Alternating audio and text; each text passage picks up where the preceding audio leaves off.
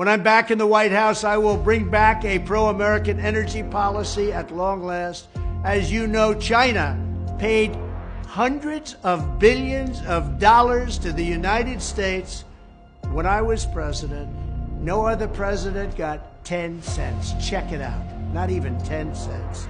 I will deploy a team of warrior lawyers to hunt down every unnecessary regulation in the Federal Registry that hampers domestic production, and we will wipe them off the books.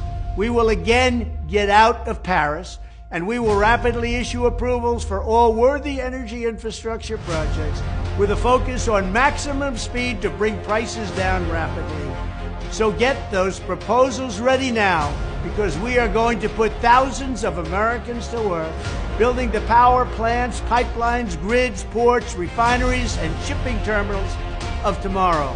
We are going to have very inexpensive energy again, like we did just two and a half years ago. This great undertaking will also help restore hope and aspiration to America's young people.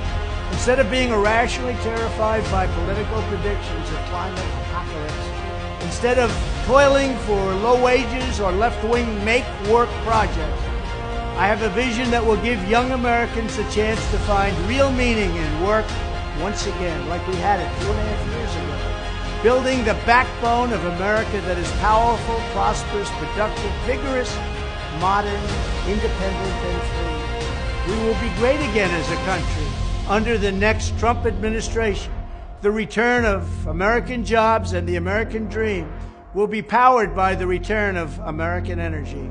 Nobody has more liquid gold under their feet than the United States of America, and we will use it and profit by it and live with it, and we will be rich again, and we will be happy again, and we will be proud again. Thank you very much.